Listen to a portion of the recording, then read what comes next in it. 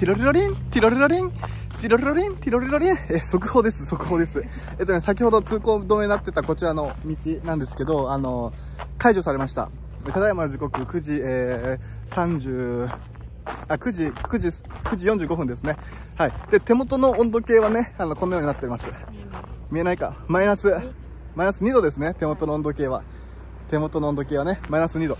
で、この、ここの場所で、あの、マイナス2度になることって、本当に朝はあるんですけど、この9時45分とか10時前のね、状況の時にはね、ないんですよ。